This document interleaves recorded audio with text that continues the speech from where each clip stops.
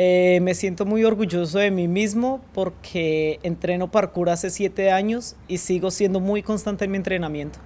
En Colombia tuve una vida muy difícil, muchas necesidades eh, y no era fácil vivir en Colombia, tampoco fue fácil mantenerme entrenando, pero fui muy constante y me siento muy orgulloso de mi entrenamiento y de las habilidades físicas que tengo.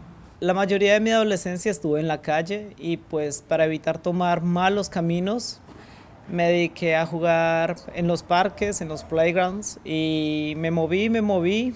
Años después, cuando tenía 17 años, descubrí el parkour y se adhirió perfectamente a mi vida.